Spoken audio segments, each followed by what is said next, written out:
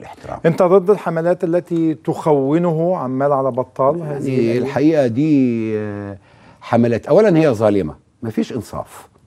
وأنا راجل بقول العدل والمحبة. وحتى ما فيهاش محبة فيها كراهية. وفيها افتئات على كل قيمة.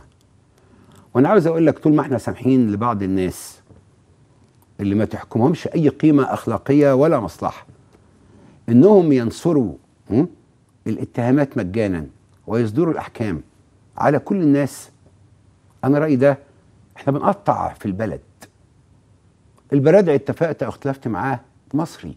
أنا فخور بيه. اشويه ليه؟ أختلف معاه آه. أخطئه نعم. لكن اغتاله.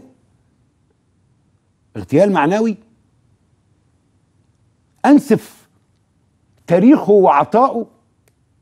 هذا ظلم وتجني وبعد عن الإنصاف القرآن بيقول لنا لا يجرمنكم شنآن قوم على ألا تعدلوا. اعدلوا هو أقرب للتقوى. عشان كده إحنا بنطلب العدل. يا سيدي خطأ البرادع لكن وطني نبيل وضمير يقظ. خطأ أي حد هم؟ مم. بس شوف كمان مستو. إنما نحن في عصر الاستباحة. في استباحة للناس في استباحة للقيم في استباحة للرموز في استباحة للقانون في استباحة للدستور في استباحة لثوابت وطنية أصيلة في هذا البلد لقيم لأعراف لأصول. ليه الاستباحة دي؟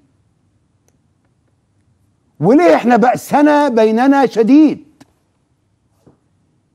ليه ما بندورش نلم بعض إزاي على أساس مصلحة الناس واهداف الثورة واحترام الدستور ونبني بلدنا؟